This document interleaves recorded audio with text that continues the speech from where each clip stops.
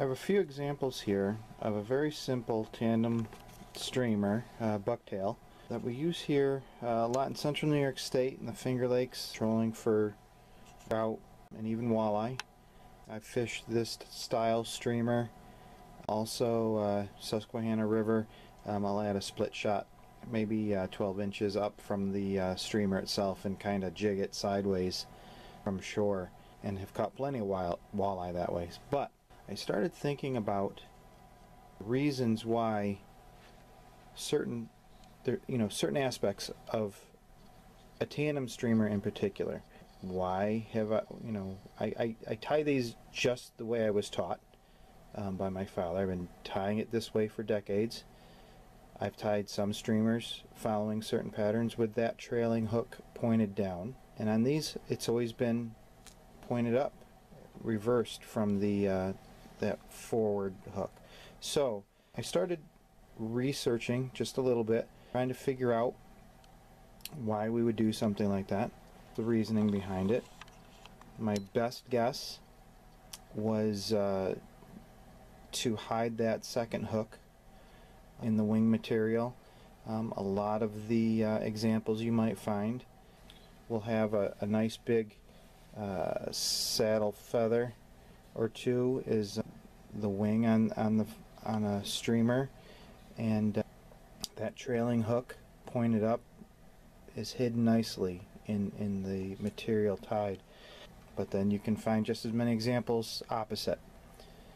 My second best guess would be um, if you're fishing deep, uh, maybe trolling closer to the uh, bottom, having that second hook facing up just to avoid snags.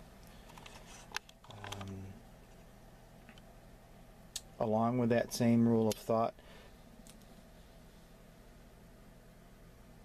switching the direction of that trailing hook to face downward um, when you're trolling a shallower depth in the uh, center of the water column to improve your hooking ability. So, you know, those were all just best guesses, ideas that I came up with, ideas that uh, other fishermen, you know, as we discuss this, what they've learned over the years. Books on the subject uh, really don't discuss that all that much. I was able to find some information in some of the literature that said something similar. Um, you know, the, the trailing hook pointed up for improved hooking ability and that uh, having the second hook rotated to the same direction as that forward hook improves uh, the stability of the of the streamer as as you troll with it. So that was kind of interesting. Though I'm still, you know, looking for definitive answers. In my research and what I want to show before we we start tying some of these, I found in my father's collection um, these streamers were tied by John T. Wirth. This is an old handmade fly wallet. There's not easy to find these I suppose some of the old timers would just make their own so this is just a cheap vinyl and cheap foam fly wallet all these tandem streamers were tied by John T. Wirth, my father and I am guessing best guess on the age of these is that they were all tied in the mid early to mid 70s so um, it's a nice little treasure and we're going to take a look at some of these a little bit bigger than what I keep in the inventory and sell uh, mainly to a lot of the dealers here in New York State. Uh, many of these are, let's see here, you know, a little bit bigger. But there's some variations here that are very interesting. And uh, what we'll do is I'm going to set some of these up so we can get a better look at not only the ones that are obvious with um, maybe some extra color or a bead or something, some of the different hooks that were used, which now starts making me think of uh, some more questions um, that I'm going to try to answer. So let me set these up and we'll take a closer look at this this wonderful old fly wallet. So some of the examples that I found, and I do not believe that any of these are true patterns. They, they might be similar or use, you know, certain um, aspects of a, of a fancier streamer that you'd find, you know, what I would think of like a Maine, somewhere in Maine or New England states. But I do not believe that any of these are, are true patterns. This one, for example, same size as our is, is the standard one that I sell. He's got tandem uh, tied with the uh, trailing hook pointed up. Is an interesting chenille body for the uh, shank of the hooks, and of course the uh, little it's a little uh, beat up now, um, but the peacock herl for the for the top wing. It's an interesting looking combination. The thing I'm uh, I notice right off is the the head itself, and on all of these, the head seems to be a little sloppy. I'm a little It's- surprised. They seem utilitarian, I suppose, is a, is a interesting way to explain it. it. They're more of a tool, I guess, and and less of a artistic type streamer, you know, that you would see tied with the fancy feathers and whatnot. So this next example, three color combination. Looks like his the trailing hook on this one's a little bit long. It's a, a longer shank trailing hook than what I'm going to demonstrate when we tie a few of these. And the hair is looks like originally the hair on these extended quite a bit farther than let's return to our example that is very popular in what we sell today. Um, this one, just a good example. Typical bucktail, and again that sloppy head. This one just got that six or eight pound mono tied to it uh, for trolling in the Finger Lakes. Here's another one with some peacock herl that looks like it was added as a um, center line. At least on that side. It could have been on top I suppose. Maybe this has been a little crushed a little bit sitting in that wallet for 35 years. But uh, again the hairs are extending a little bit farther past that trailing hook than I'm used to seeing.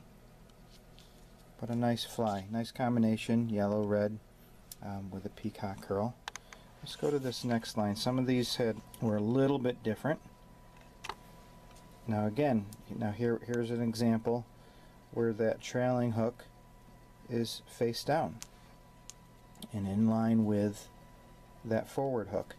And uh, I, I have my own uh, suspicions. I, I do believe that there's something to be said about the balance created with the weight of the point of the hook, of each hook pointed down. I suspect it acts somewhat like a keel, I guess, um, for lack of a better description. And helping your fly track um, as you're trolling. So red and white, nice combination. And again, this has the peacock herl um, on the back for some flash and a little bit uh, of a variation. Red and white with a red head. And again, this trailing hook is pointed down. And this, these last two, they had uh, gold. The French tinsel was gold which uh, nice a little bit different a little bit different. Again on that red theme the trailing hook here has been uh, points up but it looks like dad added a plastic bead in on the mono that connects the two tandems and again with that uh, this one curl. Um, has the treble hook for the trailing hook. And it's a little bit it's uh, set quite a bit back from from the uh, forward hook as compared to the rest of these which were you know there's only about an eighth of an inch or, or so between the eye of the trailing hook and the bend of the uh, forward hook. So very interesting. I thought that was kind of neat. And we've seen patterns you know a lot of the traditional patterns that show uh, a treble hook as the trailer. Um, again black and orange. This has red bucktail added in the center for some uh, color. And again that uh, treble hook is a trailer. And then these last two were quite interesting. This for black and orange not surprised at the color. Looks like two hooks lashed together which is quite possible. Um, that was my initial thought. The eye of this hook looks like it's a flat piece of metal but this, this double hook very interesting. Without taking this streamer apart to be absolutely sure it's quite possible that this is a mustad I believe they're called a bait holder hook. It was a double hook on a single shank. But all the ones I remember ever seeing in person and the and what I have found in my old Mustad uh, dealer catalog. This eye looks like it's a flat piece of metal with a hole just punched through it. And I believe on the pictures that I've seen of these bait holder hooks, the shank kind of forms a diamond profile and it does flatten out but it has a it has a it has a pointier tip and the and the hole is oval like a needle um, sewing needle. I believe is is what the Mustad bait holder hooks are. So I am guessing. I don't want to I don't want to cut these apart um, since I only have a few examples. But I am guessing that that is two streamer hooks lashed together with a handmade eye that's also lashed to the end of those. That's my guess. And then there's a second one like that. Very interesting. This one has a, a regular trailing hook uh, tied in tandem, but there's there's those two hooks tied together. And again, it, it, it appears that is a handmade eye. You know, that looks like a piece of metal to me that was shaped and then punched with a hole. It does not look like the the needle, the sewing needle look to the Mustad uh, bait There's our look at a neat old treasure like I said, I believe that this, my best guess in terms of age of this old fly wallet, belonged to my father, John T. Wirth. These streamers are most likely from the early to uh, mid 70s. Real neat, real neat old bucktail streamers.